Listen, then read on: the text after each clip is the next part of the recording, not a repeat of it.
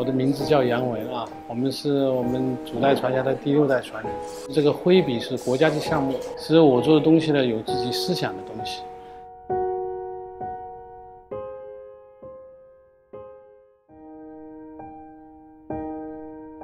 这个做毛笔是不光是手艺，还有是工艺、艺术方面去做。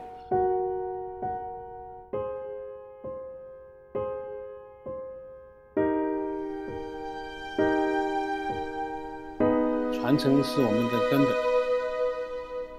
本，但是呢，你在根本方面，你如果说你要发展，想把它发扬光大，那必须要有自己的思想在里面。